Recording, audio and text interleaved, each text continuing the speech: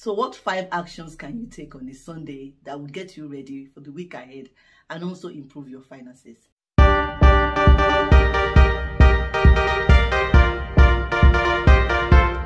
Hello friends, welcome back to my channel, The Bulletproof Life. My name is Ronke Odewumi and I'm delighted to have you here. I hope you have had a wonderful weekend and you are getting ready to have a great week. Today I'm going to be sharing with you five actions you can take on a Sunday to improve your finances. Maybe that's why I'm here in my Sunday dress. I hope you love it. But today, that's what I'm going to be talking to you about. Five actions, easy, straightforward actions that you can take on a Sunday to get you ready for Monday and to improve your finances. But before we go right into that, can I ask you to please press the like button on this video because I promise you you're going to love it. You're going to enjoy this video as usual. If you have not subscribed to my channel, Please do it by pressing the red button on your right. Don't forget to press the bell so you can get notifications every time I share a new video, which is every Monday. I mean, the information on this channel is free. It's YouTube. It's free. You can get it. You can access it. You can use it. You can take notes. So why are you not subscribed? Get the best of my channel by subscribing so that you can get all the good news the moment it lands. Thank you for subscribing and for pressing the like button. So let's get right into today's topic. So what five actions can you take on a Sunday that will get you ready for the week ahead and also improve your finances? The first action is bill payment or bill scheduling. You need to sit down on a Sunday and schedule your bills. What bills are due this week? That means logging into your bank account to check how much you have there, what bills are ready to be paid, what bills need to be paid. That's if those bills are not already on direct debit. If they are on direct debit, is a good time to check in on them to see if they're going to go out this week and what day they're going to go out. If these bills are not on direct debit, then Sunday is a great time for you to sit down and pay them one by one and they're sorted. If you are buying your transport ticket for the week, Sunday is a great time to sit down and sort out that particular bill, buy your transport ticket for the week, your train ticket for the week. You know, Sunday is a great day for you to pay your bills and to schedule your bills. It gives you a great view of what's ahead of you financially during the week. So that when the bills are being paid or they're coming out of your account during the week, you are not worried about them. This is also a good time for you to make additional credit card payments. So I always suggest to people to have direct debits for credit cards. The minimum payment, five pounds, ten pounds, the minimum that's required on your credit card, put it on direct debit so that no matter what happens, you are not missing a payment. But on a Sunday afternoon, you can sit down, log into your bank account, see how much you have, see what extras you have because, you know, last week has been a good week. You haven't spent as much as you thought you were going to spend. And so you have some extra for this week. So that's a good time for you to then move that extra into your credit card as an additional payment because the idea is for you to pay off this credit card debt as soon as you can. So the first action you should be taking on this Sunday is bill payment or bill scheduling.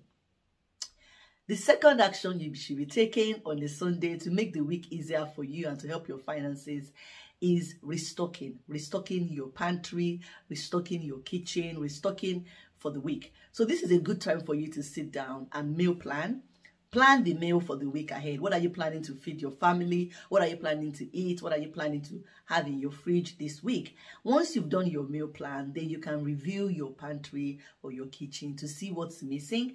I always suggest that people do a monthly grocery shop or at least a bi-monthly you know grocery shop every two weeks. And i've got a video on my channel that talks about how to reduce your grocery bills every month. But i've got two videos that talk about how to reduce grocery bills. So please check out those videos if you haven't watched them. And if you watch them you can watch them again you know just to refresh your memory of what i shared in those videos. So once you've done your meal plan and you've you've seen what you need and what you don't need or what's the gap in your kitchen then you can go into your pantry see what's outstanding see what's run out and then you can dash to the store on a sunday afternoon and do a restock of your kitchen. In the uk stores close at 4 p.m. So a lot of um, grocery shops will close at 4 p.m. on a Sunday. So you want to get in before 4 p.m. so that you can do that restocking and your kitchen or your home or your pantry is ready for the week and you're not on a Wednesday looking at the fridge and thinking, oh, we need milk oh, we need bread. No, those are the kind of things you are restocking on a Sunday. So for me, Sunday is a great day to get milk, to get bread, and to get fruits for the week so that the kids can have fruits to take to school. And I can also hit my five a day, you know, to stay healthy on fruits. So the second thing you need to be doing on a Sunday is restocking your kitchen or your pantry. The third thing you need to be doing on a Sunday is meal prepping. Yes, meal prepping. So now you've restocked your kitchen, you've restocked your pantry, you know what you are eating during the week because you've done your meal planning. It's time for you to do your meal prep. So everything that you are eating during the week, you're going to look at it and see what you can prep ahead. You know, what you can cook ahead so that during the week, you just fishing them out of the fridge and putting them into the microwave and heating them up. So meal prep is a great thing to do on Sunday. On Sunday is when I cook my famous jollof rice. You know, I prep that, cook it, dish it out into bowls. I have this um, glass Tupperware that I use in my fridge and they are microwave safe, they are dishwasher safe. So I love them and I'll drop a link in, in the description if you would like to try them out.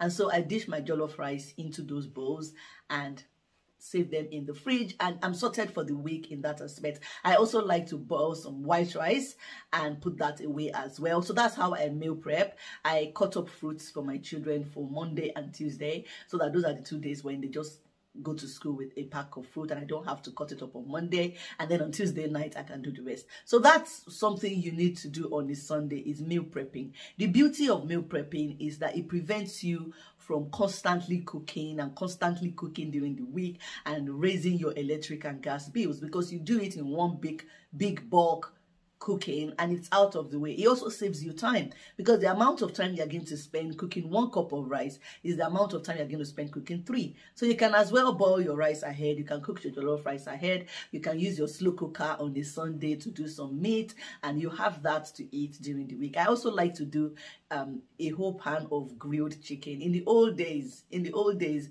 I would grill my chicken in my oven, but now I've discovered the beauty of the air fryer. Ladies and gentlemen, if you don't have an air fryer, you're missing out on the magic of the 21st century. You are missing out on the next best thing since microwave ovens. When I was going to get my air fryer, I wasn't sure which one to get, you know, which one is best, you know. And then one of my friends gave me a fantastic one from Amazon, and I'm also going to drop a link to that in the description section. Is a Cosori and it's a fantastic air fryer. It doesn't have lots of little bits and pieces for you to clean. It's got just two bits to, for you to clean. It does everything. I do chicken fish. I even do cookies in my air fryer. So on sunday part of my meal prep is chicken.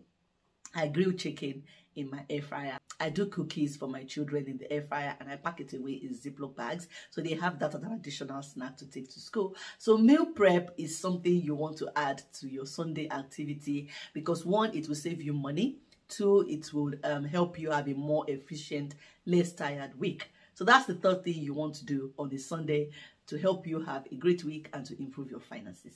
The next thing you want to do on a Sunday to help your week is diary scheduling. You need to sit down on a Sunday and plan your week ahead. I've got a video where I talked about using the to-do list and how to plan your week ahead. I've also got a video where I talked about how to get things done when you don't feel like it.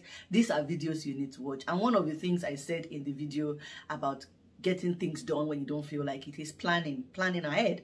And so on Sunday, you need to sit down and plan your diary who has activities during the week, who's dropping who off for football, dance, gymnastics, what meetings do I have, what do I need to do during the week, what programs do I need to attend. Sunday is when you familiarize yourself with your diary. You update it, you become familiar with it so that you are thinking ahead okay on wednesday i have three things on wednesday i need to be here at 6 p.m on tuesday i need to do that at 5 p.m so i need to get something ready during the day on tuesday you know you plan your diary sit down on Sunday and plan your diary. Now, if you are somebody who uses a diary on your phone, you can set alarms and set reminders. But if you are somebody who uses a book diary, and I totally believe in a book diary, I've got a to-do list book, which I um, created especially for you and have on Amazon. It's the Bulletproof Life Planner. So you can Google that. But at the same time, again, there's a link in my description to that. And it's a planner that allows you to plan your day and your whole week. You can use that to plan your week ahead. You see it, put some post-it notes inside there use markers to highlight things that absolutely need to get done. You know sunday is a great day to sit down and just plan your diary. That's what i do. On sunday i look through my diary i do my scheduling i get on top of the week ahead so that on monday morning i'm not panicked. I don't have that under the bottom of my belly kind of panic like what do i need to do? What do i need to do? Oh what's happening? What's happening? I don't hate mondays. I'm one person that has finally stopped hating mondays and these are the things that helped me stop hating mondays i used to to dread Mondays. I used to go to bed on Sunday night like a little bit sad because, you know, oh gosh, Monday is coming. You know, and something I also do as part of diary scheduling is to check my email. So on a Sunday afternoon, I clear out my inbox so that there is no pending email on a Monday for me to look at. So even if I don't action those emails on the Sunday and I don't action them, I read them and then take them back to mark as unread.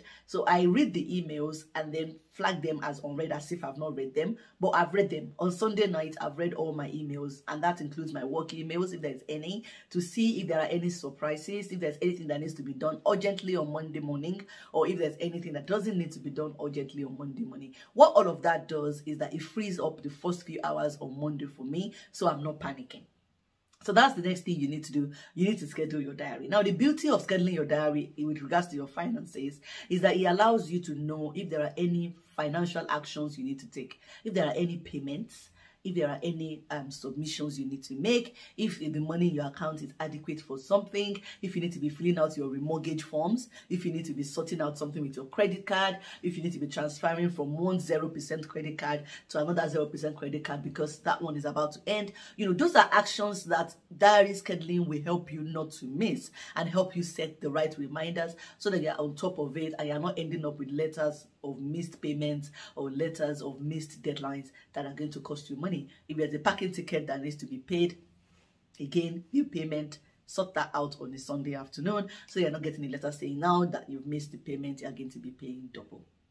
The last thing you need to do on a Sunday to make your Monday and your whole week easier and more financially bulletproof is for you to review your budget a budget you made at the end of the month, at the end of October, for the whole of November, it's time to review it. It's time to look at it, make adjustments, you know, increase what you've budgeted for some things and reduce what you've budgeted for some things. You know, at the beginning of the month, your view is different from the view you have now that the month has progressed by a week or two. So Sunday night is when I review my budget. I'm looking at that budget and I'm asking myself, what is still valid? What is no longer valid? What do I need to add? What do I need to take out? You know, am I on track? Have I fallen off the rails? Do I need to make adjustments? Um, reviewing your budget also allows you to stay on, on track. It helps you to stay on track because you see what you are working towards. You see your goals. You see what's got gone out and what hasn't gone out. Reviewing my budget also gives me peace of mind because I can see that, okay, I've stayed on track okay this bill is paid this bill is paid direct debit has gone direct debit has gone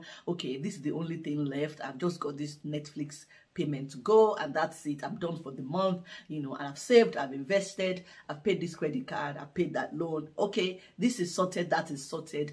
I'm ready to go to next month. I'm in line with my budget. I don't need to make any adjustments. Or maybe oh yes i need to make an adjustment. I didn't spend this money. I thought i was going to go for this event. I didn't go which means i saved on fuel i saved on transport i saved on the ticket. So all of that money i can now push into my savings or i can push to pay off a particular credit card you know things like that. Those are the kind kind of actions that you take when you review a budget and I always suggest that you do it on a Sunday night.